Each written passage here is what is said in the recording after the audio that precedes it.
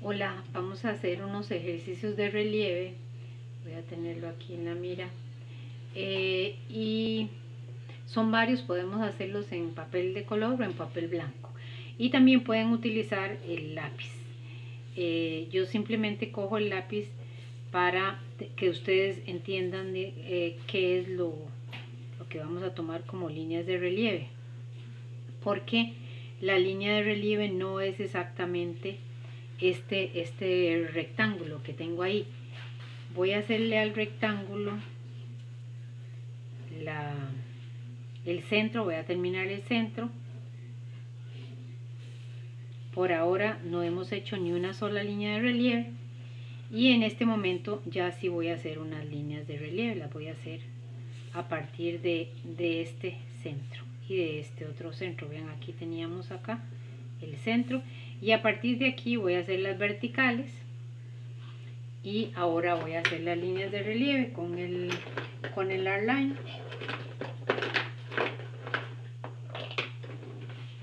entonces voy a hacer una curvatura aquí.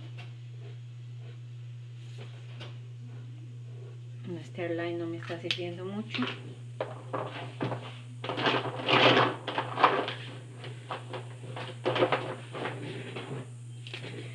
vamos a hacer una línea de relieve ahí.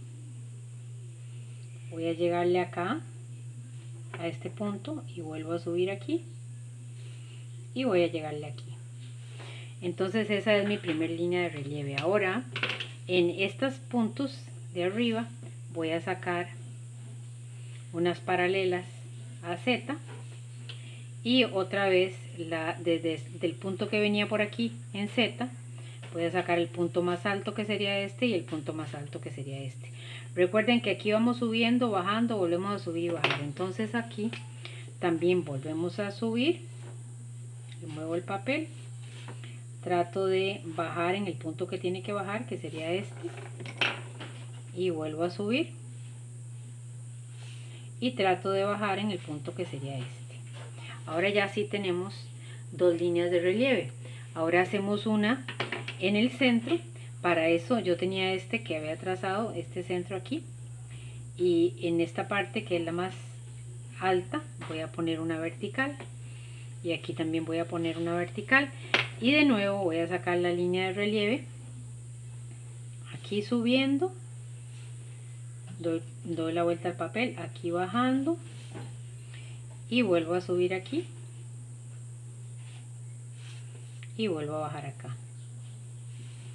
Ya en esta parte ya tenemos, eh, ya sería la línea de contorno externo y aquí también sería la línea de contorno externo. Y si hacemos más líneas de relieve tendrían que ser en esta posición, ¿verdad? Las setas tendrían que venir ahí, paralelas. Y bueno, yo antes, como es un color amarillo, antes revisé con los amarillos que tengo estos tres tonos, que serían los los amarillos que tengo yo aquí, que es el 69, es este, el 17, eh, que sería este, y el, y el 19, que sería este otro. Entonces vemos que el 19 se pierde bastante, que el 69 es un poco oscuro, entonces voy a tomar este intermedio que es el 17 para hacer, digamos, la, la, eh, la degradación ahí en, esa, en esta pared. Aquí entonces cojo la mascarilla y comienzo a pintar de abajo para arriba porque arriba casi no voy a pintar. Entonces tengo que ir soltando el palito. Otra vez aquí un poquito. Le doy la vuelta para, para revisar esta, esta esquina de aquí, este borde más bien de acá. Y en la medida que voy subiendo voy pintando menos, menos. Ahora, tengo una pared que ve a la izquierda y aquí tengo otra vez otra pared que va a la izquierda, entonces también tengo que pintarla ahí desde la parte de abajo, no abajo abajo porque abajo abajo está viendo para arriba, pero aquí comienzo a subir un poquito, cuando ya yo sé que va a estar en la cúspide, en la parte de arriba, entonces ya dejo de pintar porque esa parte no se pintaría. Aquí pinto más y ahí casi no pinto. En el puro borde pueden pintar un poquitito en la parte del borde. Eh, y en cuanto al grosor, el grosor sí lo voy a pintar con este que es más oscuro. Vean que voy a, vean cómo voy a, a manejar la mano. Cuando uno delinea, maneja la mano. Cuando dibuja, es el brazo. Entonces aquí lo que voy a hacer es darle la vuelta al papel.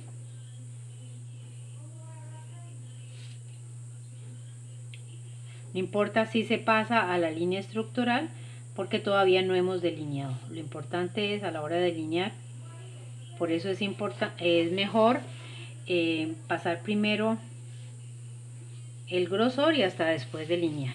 Así. ¿Verdad? Y en este caso ya ahora sí podríamos delinear. Entonces, vean, voy a delinear aquí por debajo.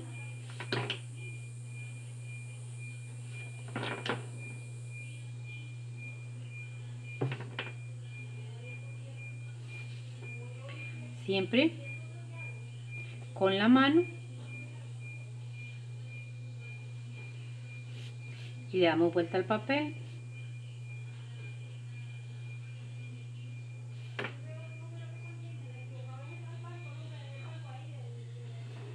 Ok entonces esa sería nuestra primera línea de relieve. Muchas gracias